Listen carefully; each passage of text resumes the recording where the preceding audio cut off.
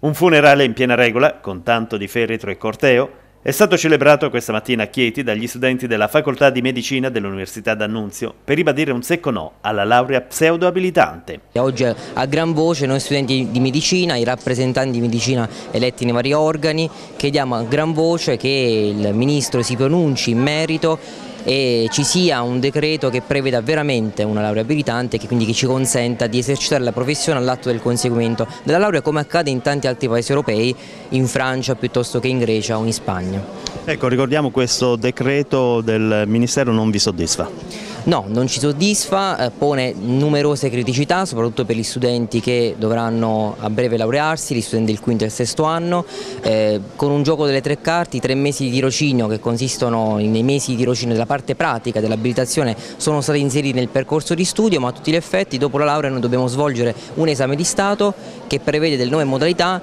delle, delle modalità che potrebbero mm, far sì che si possa realizzare un nuovo imbuto formativo, già ne abbiamo troppi nel nostro percorso sia di studio che nel nostro percorso post lauream.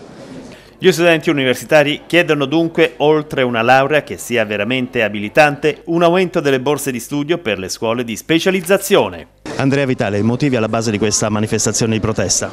Il motivo è assolutamente chiaro, è una laurea che non è assolutamente abilitante e soprattutto la protesta nei confronti sia del discusso e assolutamente iniquo decreto Fedeli del maggio dell'anno scorso e anche contro il silenzio dell'attuale eh, esecutivo che non sta dando direttive in merito al vecchio decreto, quindi sostanzialmente sta paralizzando una platea di circa 60-70 mila studenti in, tutto, eh, in tutta Italia, in tutto il territorio nazionale, noi chiediamo delle risposte. E cosa vi attendete al termine di queste manifestazioni? Che lo ricordiamo si stanno stanno tenendo un po' in tutto il paese. Sì, è una mobilitazione che si svolge non solo all'interno dell'annunzio ma a livello nazionale, chiediamo delle risposte perché dall'insegnamento del nuovo ministro Bussetti non ci sono state risposte a tutte le criticità sollevate da noi studenti, quindi delle risposte, chiarezza perché manca chiarezza.